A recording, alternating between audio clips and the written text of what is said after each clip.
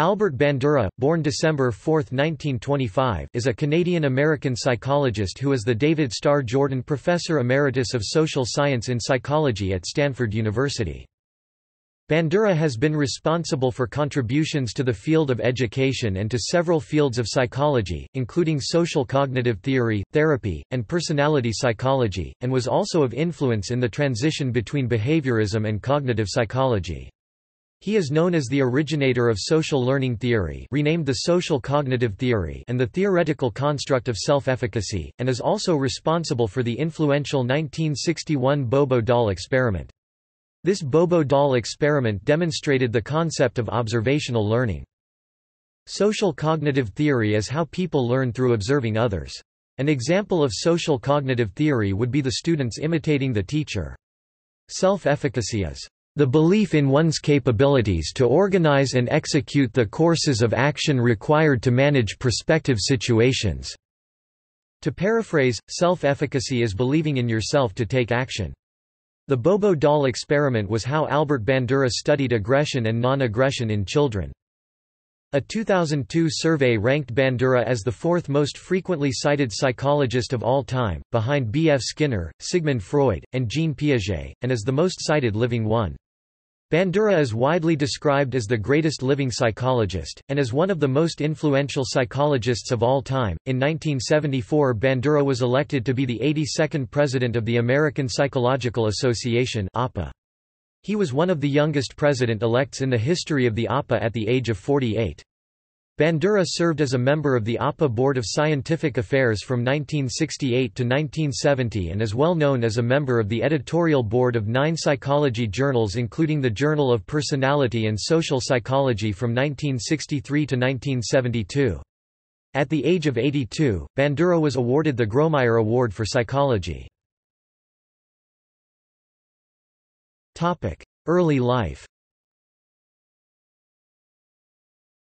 Bandura was born in Mundare, in Alberta, an open town of roughly 400 inhabitants, as the youngest child, and only son, in a family of six. The limitations of education in a remote town such as this caused Bandura to become independent and self-motivated in terms of learning, and these primarily developed traits proved very helpful in his lengthy career. Bandura is of Polish and Ukrainian descent, his father was from Krakow, Poland whilst his mother was from Ukraine. Bandura's parents were a key influence in encouraging him to seek ventures out of the small hamlet they resided in. The summer after finishing high school, Bandura worked in the Yukon to protect the Alaska Highway against sinking. Bandura later credited his work in the northern tundra as the origin of his interest in human psychopathology. It was in this experience in the Yukon, where he was exposed to a subculture of drinking and gambling, which helped broaden his perspective and scope of views on life. Bandura arrived in the U.S. in 1949 and was naturalized in 1956. He married Virginia Varnes (1921–2011) in 1952, and they raised two daughters, Carol and Mary. Topic: Education and academic career. Bandura's introduction to academic psychology came about by a fluke. As a student with little to do in the early mornings, he took a psychology course to pass the time, and became enamored of the subject. Bandura graduated in three years, in 1949, with a BA from the University of British Columbia, winning the Bolocan Award in Psychology, and then moved to the then epicenter of theoretical psychology, the University of Iowa, from where he obtained his MA in 1951 and PhD in 1952. Arthur Benton was his academic advisor at Iowa, giving Bandura a direct academic descent from William James, while Clark Hull and Kenneth Spence were influential collaborators. During his Iowa years, Bandura came to support a style of psychology which sought to investigate psychological phenomena through repeatable, experimental testing. His inclusion of such mental phenomena as imagery and representation, and his concept of reciprocal determinism, which postulated a relationship of mutual influence between an agent and its environment, marked a radical departure from the dominant behaviorism of the time. Bandura's expanded array of conceptual tools allowed for more potent modeling of such phenomena as observational learning and self-regulation, and provided psychologists with a practical way in which to theorize about mental processes, in opposition to the mentalistic constructs of psychoanalysis and personology. When a psychologist such as Bandura invokes the self-construct to explain human emotion, thought, and behavior, he or she is using exactly the same type of mentalistic constructs utilized by the psychodynamic theorists. Postdoctoral work Upon graduation, he completed his postdoctoral internship at the Wichita Guidance Center. The following year, 1953, he accepted a teaching position at Stanford University, which he holds to this day. In 1974, he was elected president of the American Psychological Association which is the world's largest association of psychologists. Bandura would later state the only reason he agreed to be in the running for the APA election was because he wanted his 15 minutes of fame without any intentions of being elected. He also worked as a sports coach. Research Bandura was initially influenced by Robert Sears' work on familial antecedents of social behavior and identificatory learning. He directed his initial research to the role of social modeling in human motivation, thought, and action. In collaboration with Richard Walters, his first doctoral student, he engaged in studies of social learning and aggression. Their joint efforts illustrated the critical role of modeling in human behavior and led to a program of research into the determinants and mechanisms of observational learning. Social learning theory The initial phase of Bandura's research analyzed the foundations of human learning and the willingness of children and adults to imitate behavior observed in others, in particular, aggression. He found that according to social learning theory, models are an important source for learning new behaviors and for achieving behavioral change in institutionalized settings. Social learning theory posits that there are three regulatory systems that control behavior. First, the antecedent inducements greatly influence the time and response of behavior. The stimulus that occurs before the behavioral response must be appropriate in relationship to social context and performers. Second, response feedback influences also serve an important function. Following a response, the reinforcements, by experience or observation, will greatly impact the occurrence of the behavior in the future.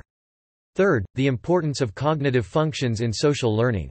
For example, for aggressive behavior to occur some people become easily angered by the sight or thought of individuals with whom they have had hostile encounters, and this memory is acquired through the learning process. Aggression His research with Walters led to his first book, Adolescent Aggression in 1959, and to a subsequent book, Aggression, A Social Learning Analysis in 1973. During a period dominated by behaviorism in the mold of B.F. Skinner, Bandura believed the sole behavioral modifiers of reward and punishment in classical and operant conditioning were inadequate as a framework, and that many human behaviors were learned from other humans. Bandura began to analyze means of treating unduly aggressive children by identifying sources of violence in their lives. Initial research in the area had begun in the 1940s under Neal Miller and John Dollard. His continued work in this line eventually culminated in the Bobo doll experiment, and in 1977's hugely influential treatise, Social Learning Theory.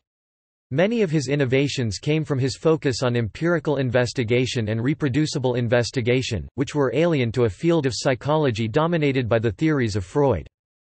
In 1961 Bandura conducted a controversial experiment known as the Bobo doll experiment, designed to show that similar behaviors were learned by individuals shaping their own behavior after the actions of models.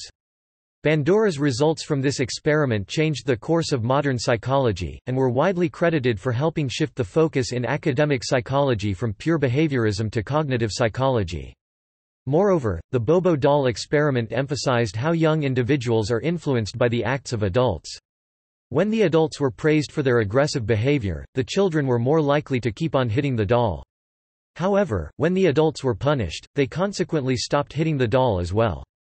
The experiment is among the most lauded and celebrated of psychological experiments.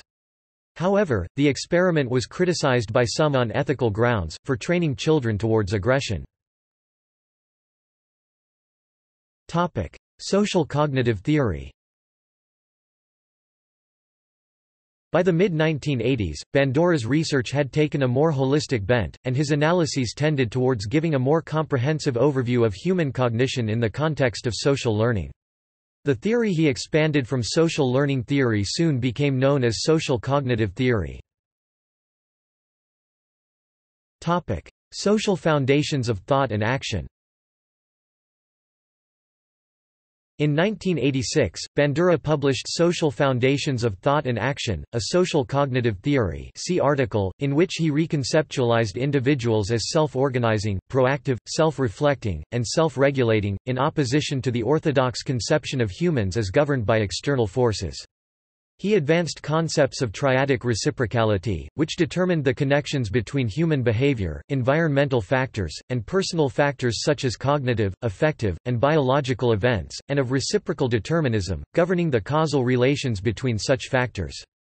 Bandura's emphasis on the capacity of agents to self-organize and self-regulate would eventually give rise to his later work on self-efficacy. Self-efficacy In 1963, he published Social Learning and Personality Development. In 1974, Stanford University awarded him an endowed chair and he became David Starr Jordan Professor of Social Science and Psychology.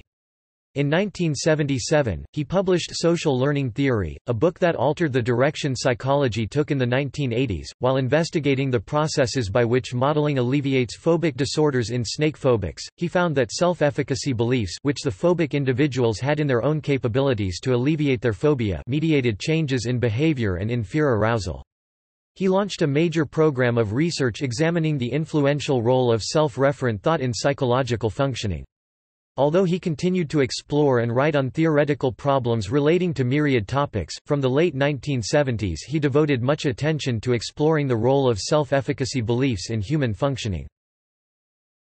In fact, in 2004 Bandura, in conjunction with Charles Benight, found that utilizing the same self-efficacy-based beliefs that were implemented for his phobia studies produced similar results on people who suffered from severe debilitating trauma. It was not only found useful for the trauma suffered by natural disaster survivors, but also those returning veterans that suffer post-traumatic stress disorder that include pervasive hypervigilance and recurrent flashbacks. By establishing a perceived sense of control self-efficacy over their traumatic experience cognitively or physically the veterans and hurricane survivors were able to overcome their distress and trauma and move forward. In 1986 he published Social Foundations of Thought and Action, a social cognitive theory, a book in which he offered a social cognitive theory of human functioning that accords a central role to cognitive, vicarious, self-regulatory and self-reflective processes in human adaptation and change. This theory has its roots in an agentic perspective that views people as self-organizing, proactive, self-reflecting and self-regulating, not just as reactive organisms shaped by environmental forces or driven by inner impulses. His book, Self-Efficacy, The Exercise of Control was published in 1997. In addition to Bandura's work on self-efficacy in relation to phobias and trauma, he also contributed, in 2008 with Caprara and colleagues, a significant amount to the study of self-efficacy in the education system. His focus was on the continuing technological explosion, in that with more information readily available than ever before the education system needs to focus on teaching students self-regulating efficacy. He argued that self-regulating efficacy is the focus on bolstering students' belief that they can not only stay up to date with current technology, but also avoid becoming overwhelmed with its continual shift. He stated that this will be invaluable as jobs focus more on cognitive abilities as well as flexibility in light of technology's ever-changing use and applicability. Moral agency Bandura applied his human agentic view via social cognitive theory for the personal and social aspects of control over moral values and conduct. In particular, he states that in the social cognitive theory of the moral self, moral reasoning is linked to moral action through effective self-regulatory mechanisms by which moral agency is exercised. However these self-regulatory mechanisms have to be activated psychosocially. Bandura found interest in the role that human agency plays when a society does not have safeguards set against particular lapses in moral judgment that an individual finds justification, morally or otherwise. First, all people are capable of two morally agentic abilities, to act humanely and to act inhumanely. Selective moral disengagement occurs when a person actively disengages their self-regulating efficacy for moral conduct. Selective moral disengagement occurs via a cognitive restructuring of the inhumane acts into something justifiable. He states the specific processes in which this occurs, they are as follows, moral justification, sanitizing language, exonerative social comparison, disavowal of personal agency in the harm one causes by diffusion or displacement of responsibility, disregarding or minimizing the injurious effects of one's actions, and attribution of blame to, dehumanization of those who are victimized. Bandura on education Bandura's social learning theory contributes to students and teachers within the field of education. In 1986, Bandura changed the name of the social learning theory to social cognitive theory. The social cognitive theory still focuses on how behavior and growth are affected by the cognitive operations that occur during social activities. The key theoretical components of the social cognitive theory that are applied in education are self-efficacy, self-regulation, observational learning, and reciprocal determinism. The social cognitive theory can be applied to motivation and learning for students and teachers. Bandura's research shows that high perceived self-efficacy leads teachers and students to set higher goals and increases the likelihood that they will dedicate themselves to those goals. In an educational setting self-efficacy refers to a student or teacher's confidence to participate in certain actions that will help them achieve distinct goals. Self-regulation is the process by which an individual sets future goals and manages their behavior and plans to accomplish them. It operates under individual everyday classroom functions such as goal setting, self-monitoring, and self-influence. The social cognitive theory research offers support that modeling can be useful for incorporating new strategies into training for teachers. According to Bandura's observational learning theory, students acquire self-regulative functions from observing models. Observational learning occurs when students or teachers observe a well-trained model and experience increases in their knowledge and understanding. Lastly, the mutual relationship between a student or teacher, their environment, and their behavior is pointed out as key components in Bandura's triadic reciprocal determinism theory. The mutual relationships within reciprocal determinism point out what influences behavior and the results that will affect future thoughts. In other words, when a student or teacher decides to replicate an observed behavior, that student or teacher's self-efficacy provides them with the confidence to attempt to perform the observed behavior. Self-regulation is the process he or she will use to set goals to perform the observed behavior. If the performed behavior leads to successful results, it will encourage them to perform similar behaviors again and validate their use of high self-efficacy. Awards Bandura has received more than 16 honorary degrees, including those from the University of British Columbia, the University of Ottawa, Alfred University, the University of Rome, the University of Lethbridge, the University of Salamanca in Spain, Indiana University, the University of New Brunswick, Penn State University, Leiden University, and Freie Universität Berlin, the Graduate Center of the City University of New York, Universitat Jaume I in Spain, the University of Athens and the University of Alberta, and University University of Catania. He was elected a Fellow of the American Academy of Arts and Sciences in 1980. He received the award for Distinguished Scientific Contributions from the American Psychological Association in 1980 for pioneering the research in the field of self-regulated learning.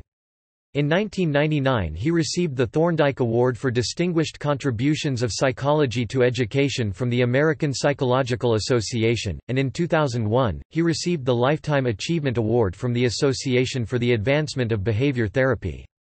He is the recipient of the Outstanding Lifetime Contribution to Psychology Award from the American Psychological Association and the Lifetime Achievement Award from the Western Psychological Association, the James McKeen Cattell Award from the American Psychological Society, and the Gold Medal Award for Distinguished Lifetime Contribution to Psychological Science from the American Psychological Foundation. In 2008, he received the University of Louisville Grawemeyer Award for contributions to psychology. In 2014, he was made an Officer of the Order of Canada for his foundational contributions to social psychology, notably for uncovering the influence of observation on human learning and aggression. Topic major books The following books have more than 5,000 citations in Google Scholar, Bandura, A. 1997. Self-Efficacy, The Exercise of Control. New York, W. H. Freeman. Bandura, A. 1986. Social Foundations of Thought and Action, A Social Cognitive Theory. Englewood Cliffs, N.J., Prentice Hall. His other books are Bandura, A., and Walters, R. H. 1959. Adolescent Aggression. Ronald Press, New York. Bandura, A. 1962. Social Learning Through Imitation. University of Nebraska Press, Lincoln, Nebraska. Bandura, A. 1969. Principles of Behavior Modification. New York, Holt, Rinehart and Winston. Bandura, A. 1971. Psychological Modeling, Conflicting Theories. Chicago, Aldine Atherton. Bandura, A. 1973. Aggression, A Social Learning Analysis. Englewood Cliffs, N.J., Prentice Hall. Bandura, A. 1975. Social Learning and Personality Development. Holt, Rinehart and Winston, Inc., N.J. Bandura, A., and Ribes Iñesta, Emilio, 1976. Analysis of Delinquency and Aggression. Lawrence Erlbaum Associates, Inc., N.J. Bandura, A. 1977. Social Learning Theory. Englewood Cliffs, N.J., Prentice Hall. Bandura, A. 2015. Moral Disengagement, How People Do Harm and Live with Themselves. New York, New York, Worth. Topic notes topic References Bandura, A. 1977. Social Learning Theory. Englewood Cliffs, N.J., Prentice Hall. Bandura, A. 1986. Social Foundations of Thought and Action, A Social Cognitive Theory. Englewood Cliffs, N.J., Prentice Hall. ISBN 0-13815614-X Bandura, A. 2006. Toward a Psychology of Human Agency. Perspectives on Psychological Science, 1 to 2 doi 10.1111 j.1745 to 6916.2006.00011 x Benight, C. C., Bandura, A. 2004. Social Cognitive Theory of Post-Traumatic Recovery, The Role of Perceived Self-Efficacy. Behavior Research and Therapy. 42 10, 1129–1148 doi 10.1016 j.brat.2003.08.008 Caprara, G., Fida, R., Vecchione, M., Del Bove, G., Vecchio, G., Barbaranelli, C., Bandura, A. 2008. Longitudinal Analysis of the Role of Perceived Self-Efficacy for Self-Regulatory Learning in Academic Continuance and Achievement. Journal of Educational Psychology. 100 525–534. doi 10.1037/0022-0663 100.3.525. Bandura, A. 2002. Selective Moral Disengagement in the Exercise of Moral Agency. Journal of Moral Education. 31 101–119 doi 10.1080/0305724022014322. Bandura, A. 1989. Social Cognitive Theory. In R. Vasta ed., Annals of Child Development, 6. Six Theories of Child Development pp. 1–60. Greenwich, C.T., J. Press. Bandura, Albert 1997. Self-Efficacy, The Exercise of Control. New York, Freeman p. 604. ISBN 978-0-7167-2626-5 Bandura, Albert 1999. Moral Disengagement in the Perpetration of Inhumanities PDF. Personality and Social Psychology Review, 3 193–209 doi 10.1207 per seconds 15327957 PSPR 0303 underscore 3 PMID 15661671 Bandura, A., and Walters. Richard H. 1959. Adolescent Aggression, A Study of the Influence of Child Training Practices and Family Interrelationships. New York, Ronald Press. Bandura, A., and Walters, R. H. 1963. Social Learning and Personality Development. New York, Holt, Rinehart, and Winston. Evans, R. I. 1989. Albert Bandura, The Man and His Ideas, A Dialogue. New York, Praeger. Haggbloom, S. J., Warnick, R., et al., 2002. The 100 Most Eminent Psychologists of the Twentieth Century. Review of General Psychology. 6 139–152 doi 10.1037 1089-2680.6.2.139 Zimmerman, Barry J., and Schunk, Dale H. eds. 2003. Educational Psychology, A Century of Contributions. Mahwah, N.J., U.S., Erlbaum. ISBN 0-8058-3681-0 Great Canadian Psychology website, Albert Bandura biography. Albert Bandura discusses moral disengagement in Russian. Social learning theory and aggression. Topic. External links. Quotations related to Albert Bandura at Wikiquote